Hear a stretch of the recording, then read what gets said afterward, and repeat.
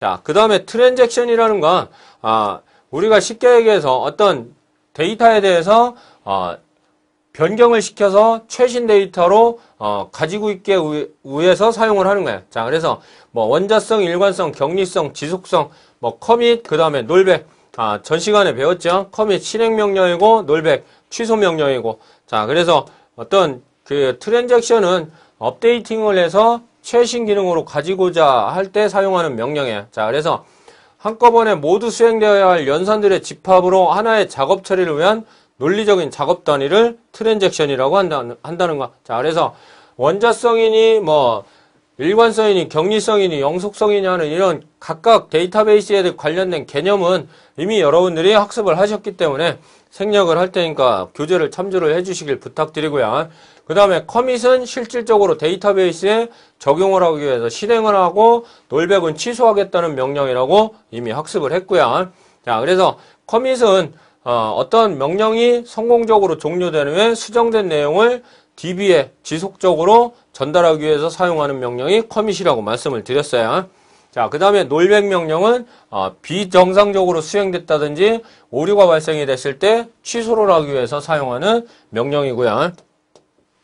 자, 그래서 트랜잭션이 수행되는 과정을 보면 실행, 부분 완료, 완료, 실패, 철회 어, 다섯 가지 부분으로 나뉘는데 어, 과정도 참고적으로 학습을 해주시길 부탁드리겠습니다. 그 다음에 회복 기법과 병행 제어라고 나오는데 말 그대로 어떤 데이터베이스를 회복시켜주기 위한 것. 자, 리코벌리예요. 복구시켜주는 명령이기 때문에 손상된 데이터베이스를 손상되기 이전에 정상적인 상태로 복구시키는 작업을 의미하는 건데 DBA라고 하는 데이터베이스 관리자가 관리자가 아닌다면 아, 일반 사용자라면 recovery 기능은 사용도 할 수가 없는 거고요. 자, 그래서 어떤 어, 회복을 위한 노고 그러니까 아, 어떤 전체적인 정보 모든 데이터에 대한 정보를 가지고 있는 걸 이용을 해서 잘못된 부분을 어, 원래의 데이터로 복구시켜주는 명령이 회복이라고 보시면 돼요.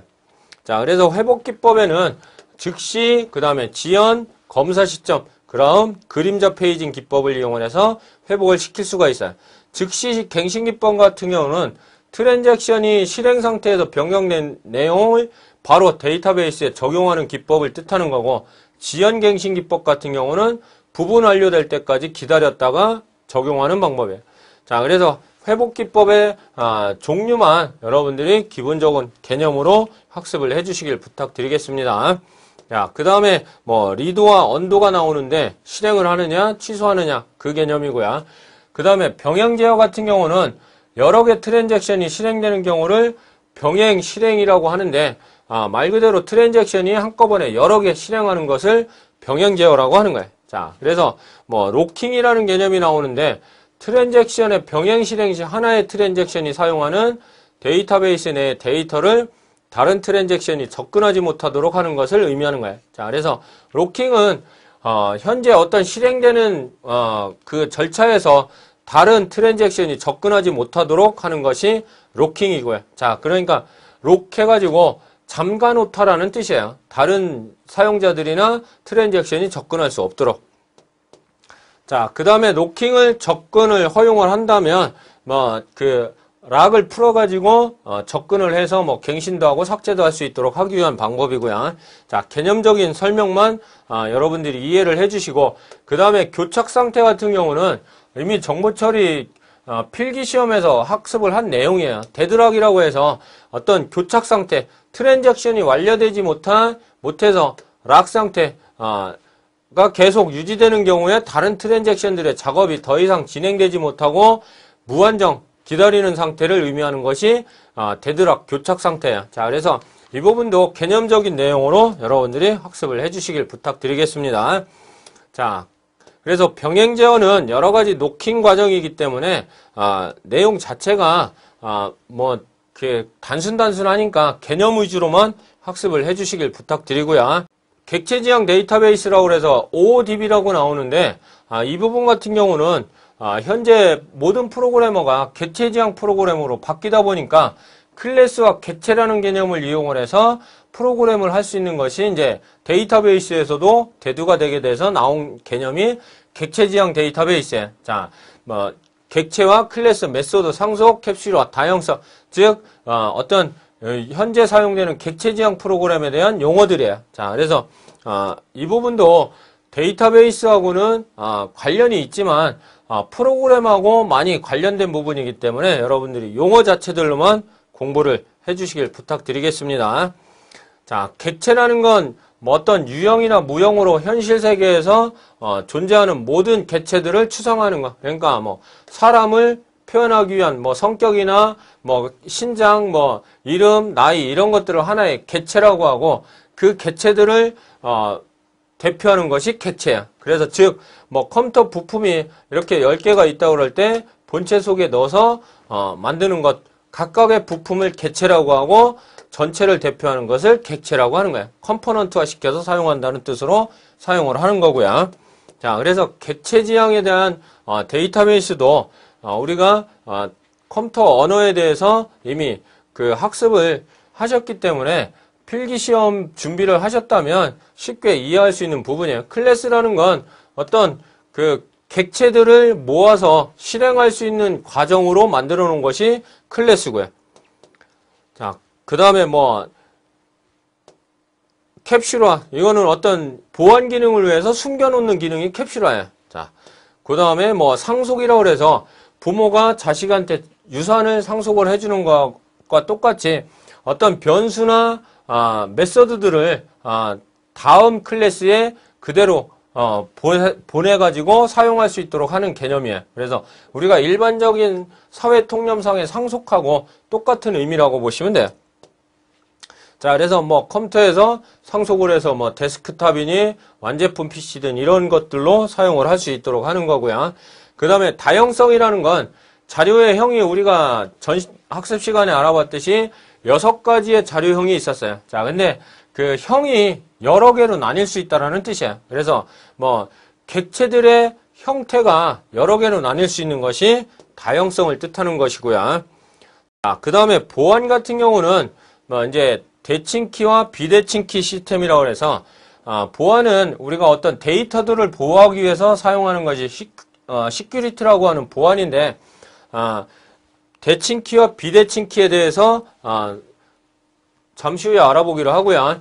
보안의 목표는 기밀성, 무결성, 가용성 세 가지의 목표를 가지고 어, 보안을 사용을 해. 자, 그러니까 기밀성이라는 건 허락되지 않은 사용자나 대상 정보의 내용을 알 수 없도록 하는 것이 기밀성이에요. 자, 말 그대로 어, 그 어떤 데이터들을 보호하기 위해서 어, 그 데이터들을 어, 밖에 유출시키지 않도록 보호해주는 기능이고요.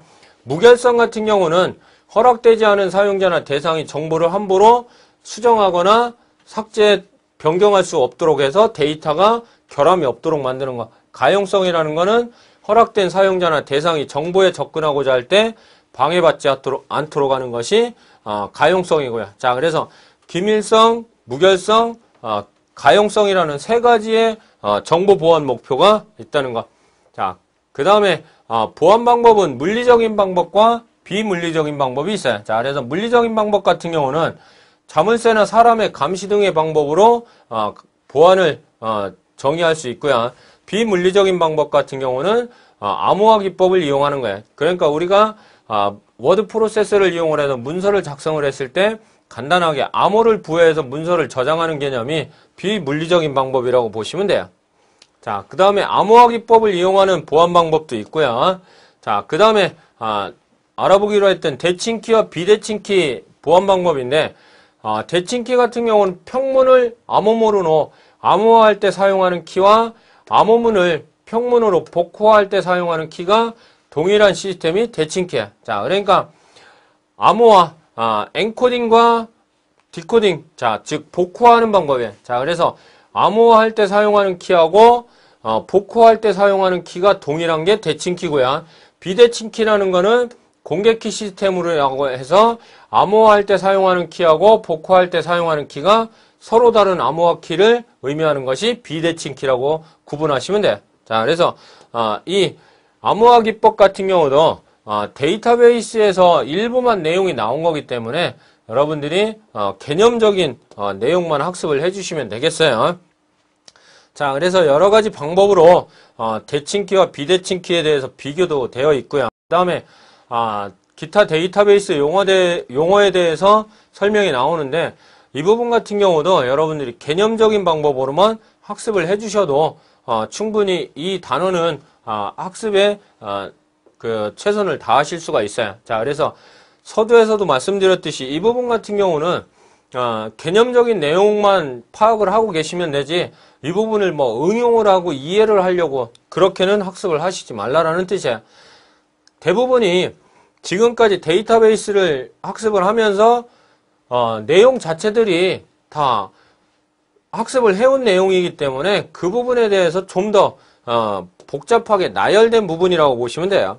자, 그 다음에 분산 데이터베이스라는 건 지금까지는 데이터베이스를 한 곳에 모아놓고 사용을 했었는데 아, 네트워크가 발달이 되다 보니까 이제 각 지역이라든지 아니면 원거리의 아, 데이터베이스들을 아, 분리시켜서 사용하는 것이 분산 데이터베이스예요. 자, 그래서 네트워크가 발달이, 되, 발달이 되면서 발생된 게 분산 데이터베이스 개념이고요.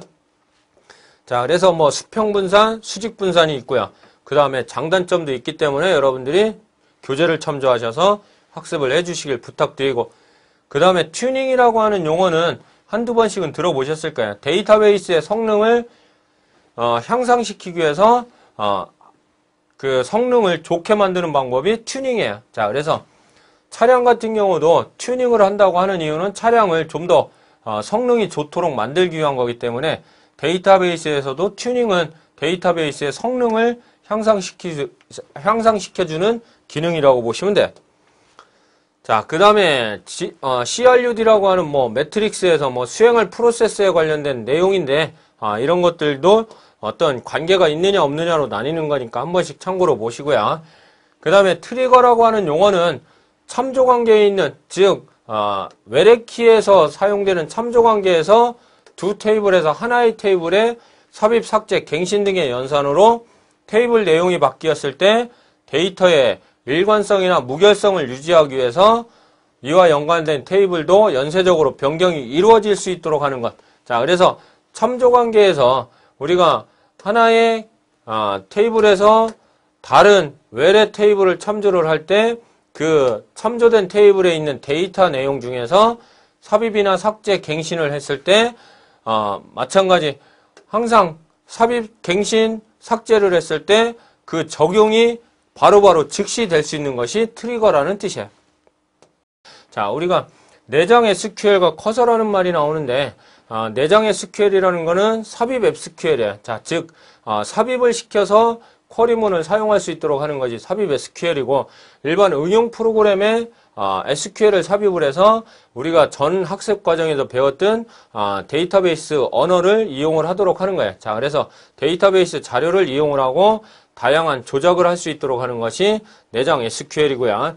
자, 그 다음에 어, 내장 SQL을 보시면 아, 이게 응용 프로그램이기 때문에 아, 여러분들이 그 별, 별도의 어떤 응용 프로그램을 어, 사용을 하셔야 되는 거기 때문에 어, 이런 부분 같은 경우는 내장 SQL 같은 경우는 어, 어떤 교재라든지 아니면 여러분들이 가지고 계신 교재에서 어, 응용 프로그램을 이용을 하셔서 사용을 하셔야 돼요. 자, 그래서 인터넷상에도 어, 사이트가 여러 가지 호스트 프로그램 언어를 이용해서 만들듯이 어, SQL도 여러 개의 SQL 언어를 사용을 해서 만들 수가 있어요. 자, 그래서 SQL 언어도 어, 언어를 모르더라도 쉽게 정보를 이용할 수 있도록 해주는 것이 내장 SQL이고요. 자, 그래서 내장 SQL 같은 경우는 호스트 프로그램 언어를 이용해서 만든 프로그램에서 내장되어 있기 때문에 DB를 어, 이용할 수 있도록 하는 것을 어, 내장 SQL이라고 보시면 돼요. 즉, 어, 여러분들이 어, query문을 어, 명령을 내릴 수 있도록 뭐 MySQL이나 오라클이나 이런 데이터베이스를 사용할 때 기본적으로 내장되어 있는 명령어 라고 보시면 돼요. 자, 특징은 어, EXEC 뭐 execution 해가지고 실행 SQL문으로 실행을 하는데 세미콜론으로 마찬가지 query문과 마찬가지로 끝나요. 자, 그 다음에 내장 SQL은 호스트 프로그램 실행 시 같이 실행된다는 것. 자, 호스트라는 건 여러분들이 학습자 여러분들이 사용하는 컴퓨터를 호스트 컴퓨터라고 해요. 자, 그래서 호스트 프로그램으로 실행할 때 같이 실행이 되고요. 아, SQL문은 실행한 후에 결과값으로 여러 자료들을 얻을 수 있는데 내장 SQL 같은 경우는 하나의 자료만 얻을 수 있다는 거. 자, 그래서 어, 내장되어서 기본적으로 제공해 주는 거기 때문에 여러 개의 결과값을 얻을 수는 없어요. 자, 그 다음에 어, 호스트 변수를 사용을 하는데 어, begin declare 즉 선언문을 이용을 해서 프로그램을 시작을 하고요. 그 다음에 section end 어, 디스칼라 섹션을 통해서 선언되어야 된다는 것. 자, 그러니까 내장 SQL 같은 경우는 비긴 디스칼라로 해서 선언으로 시작을 해서 중간에 여러분들이 필요한 섹션들의 어떤 명령어들을 줘가지고 section end 그 다음에 디스칼라 섹션을 통해서만 아, 선언을 해야 되고요. 그 다음에 호스트 변수명이나 데이터베이스 속성명이 같아도 무방해요. 자, 그래서 우리가 뭐 데이터의 유일성이라든지 최소성 이런 거하고는 상관없이 사용할 수 있는 것들이에요. 그래서 변수명도 뭐 동일해도 상관없고 데이터베이스의 속성이 어, 같아도 상관없다라는 뜻이에요. 그래서 기본적인 어, SQL 기본 구문을 보면 어, execute SQL 했기 때문에 이 문장으로 시작을 하고 begin 디스칼라로 선언문을 시작을 한다고 말씀을 드렸어요. 자, 그래서 begin 디스칼라 섹션으로 선언을 하고 문장이 끝나면 세미콜론을 하고요. 그 다음에 데이터 타입과 호스트 변수명, 즉 자료의 형과 변수명을 지정을 하고 그 다음에 다시 뭐 execute SQL and 디스칼라 섹션. 자, 어, 처음에는 시작을 하고 SQL and 하면 끝난다는 뜻이야. 자, 그러니까 중간에 선언된 뭐 데이터 타입과 변수들을 어, 선언을 해서 어, 변수 선언을 끝나겠다고 선언을 한 거고요. 그 다음에 뭐 어, 단일 듀플을 검색을 할 때는 항상 어, execute SQL 어, 기본 내장 SQL은 시작 명령이 동일하기 때문에요. 그 다음에 select 표시 명령이기 때문에 여기서 지정한 옵션에 따라서 어떤 듀플들에 대한 어, 속성을 검색을 할 수 있는 방법이에요. 자, 그 다음에 어, 삭제를 할 때는 어, 우리가 어, SQL 명령에서 배웠던 delete 자 그러니까 어, 우리가 일반적으로 배웠던 SQL문하고 차이점은 시작할 때와 어, 끝날 때 방법만 틀리다는 것만 유념을 하시면 되고 어, 자료의 형과 변수형을 선언할 때 어, 선언을 디스칼라 섹션으로 선언을 하고 끝날 때 end 키워드를 써야 된다는 것만 차이점이 있다고 보시면 돼요. 그 다음 기타 명령어들은 우리가 기본 어, 데이터베이스 언어인 SQL에서 사용했던 명령어 11가지의 명령어들과 동일하다고 보시면 돼요. 자, 그래서 커서에 관련된 명령어 보면 declare, open, 뭐 fetch, close 어, 거의 여러분들이 쉽게 이해할 수 있는 명령어들이에요. 자, 그래서 뭐 declare 하면 선언이고 open하면 어, 첫 번째 tuple로 이동하기 위한 명령어고 어, fetch하면 처리하기 위해서 커서를 다음 tuple로 이동하는 거고 close하면 처리가 완료된 후에 커서를 종료하는 명령어예요. 자, 그 다음에 뭐 stored 프로, 어, procedure라는 말이 나오는데 아, stored라는 건 저장되어 있는 procedure 어떤 명령어들을 이용을 하겠다라는 뜻이에요. 자, 그래서 아, 내장 명령, 내장 SQL이기 때문에 저장을 해놓고 필요할 때 불러다 사용할 수 있는 하나의 작은 프로그램이라고 보시면 돼요. 자, 그래서 어, 필요할 때 저장을 해두었다가 필요한 경우에 호출해서 사용하는 어, 프로그램이 stored procedure라는 뜻이에요. 그래서 어, 우리가 어, 전에 전 학습 과정에서 함수라든지 어, 아니면 어, 그 우리가 매크로 명령 같은 것들을 사용을 하는 방법을 학습을 해봤어요. 그런 명령하고 똑같다고 보시면 돼요. 여러분들 키보드에 보시면 F1에서 F12까지 키가 있는데 이 키들을 눌렀을 때 어느 기능이 이, 어, 실행이 되도록 정의를 이미 해놨어요. 그런 것들이 stored procedure라고 보시면 되는 거예요. 자, 그래서 마찬가지 뭐 어, procedure를 사용할 때도 create procedure에서 procedure 이름 주고 begin end로 끝나요. 자, 그래서 생성을 하는데 procedure를 생성을 하고 지정한 이름으로 생성을 해서 begin 시작을 하는데 처리 내용을 주고 end에서 세미콜론으로 끝나야 된다는 뜻이에요. 자, 그 다음에 drop 명령을 이용해서 또 삭제도 할 수가 있어요. drop하고 procedure에서 procedure 이름을 주면 어, procedure가 삭제가 되는 거고요. 마찬가지 인덱스도 우리가 여러 개 데이터 중에서 원하는 자료만 빠르고 효율적으로 검색하기 위해서 순서를 만드는 것이 인덱스라고 이미 어, query문을 어, 명령을 배울 때 우리가 이미 배웠어요. create 명령에서 인덱스를 생성할 때 그렇기 때문에 어, 데이터 중에서 원하는 자료만 빠르고 효율적으로 검색하기 위해서 사용하는 것이 인덱스